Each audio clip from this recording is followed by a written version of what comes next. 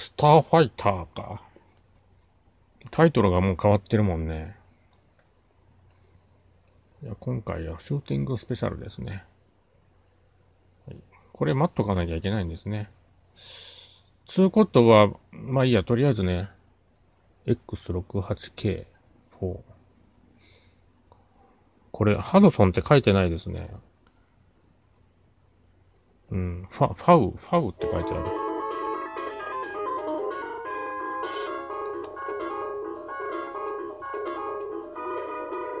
これ、押しっぱでもいけるけど、ちょっとでも弱いな、連打がね。自分で連打した方がいいみたいですね。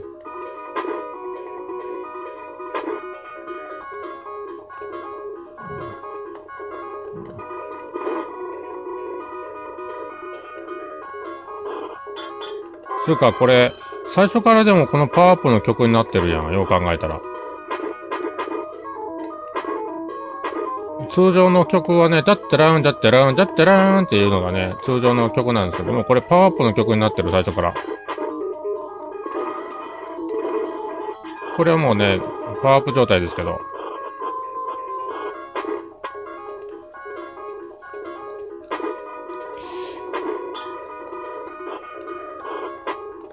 なんか、敵倒した時の効果音がガンヘッドみたいな音やし、この弾みたいな、これ、こんなんなかったよね。こんな弾取れな、こんな弾取るのなかったんですよ。あ、ラザロがなんか全然違うやつになってる。人の顔やのにね、ザララザロって。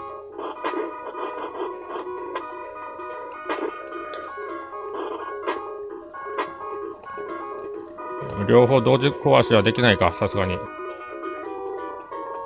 おおこれ、違うやん、また。キャラ、ボスがちゃう敵や。しかもこれ音楽、スーパースターソルジャーかなんかの曲で、ボスの曲になってる。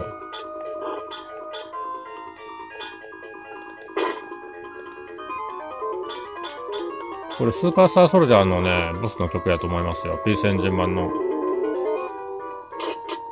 違うか、ガンヘッドかな？ガンヘッドかスーパースターソルジャーどっちかのボスの曲ですね。倒せました。斬新やなまた全然違うゲームになってるやん。あぶね。この弾みたいな、しかもこれは、このやつは、スターフォースのあれや、あれですよ。地上物の敵。スターフォースも混じってる。うお往復ビンタ出てきた。横から急に出てくるあの敵、往復ビンタってよく言ってるんですけど、あれ、高橋名人がね、往復ビンタって呼んでるから、僕もね、そう呼んでるんですけど。おお、往復ビンタ。あれ、急に来るからね、怖いんですよ。このガス、ガスガスってこう敵で倒倒される音はね、ガンヘッドと同じ音ですよね。これコンパイルが関わってんのかなもしかして。この制作、このゲームの。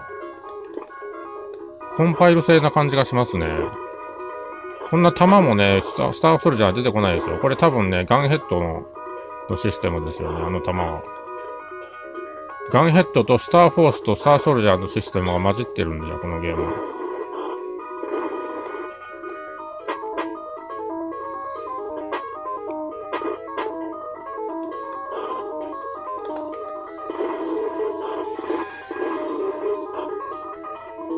おー、びっくりした。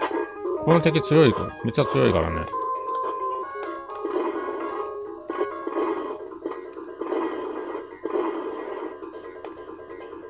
あ、ラザロ出てきた。これはラザロですね、普通にね。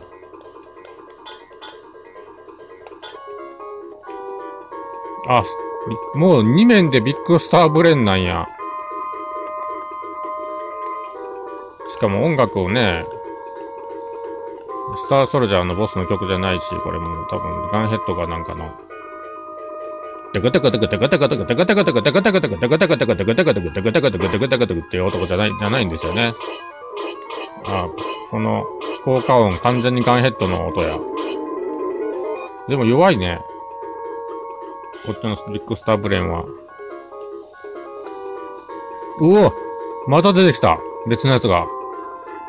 さらに強力なビッグスターブレインか。あ、この、ああ、やられた。この稲妻一緒に、今食らっても死ななかったから大丈夫なのかと思ったら、やっぱり死んだね。あ、これボスでやられたらまた違うとこから始まるよね、これね。進んでんのか、あ、しまった。進んでんのか、も戻されてんのかわからんけど。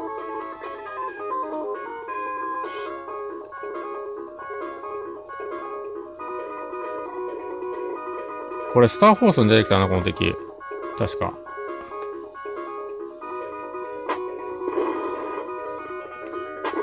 うわ、これ強えな、このハサミみたいな。しかも地上物、スターフォースの地上物やったし、今。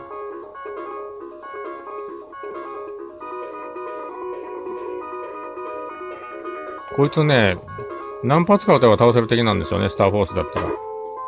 あらタイムオーバー？タイムオーバーあんの？このゲーム。しかもこの曲、ヘクター87のタイトル画面の曲やし。それがタイムオーバーの曲になってんの。いや、面白かったですね、これ。新鮮でしたね。またちょっとやり、また今度またやりたいなっていう感じがします。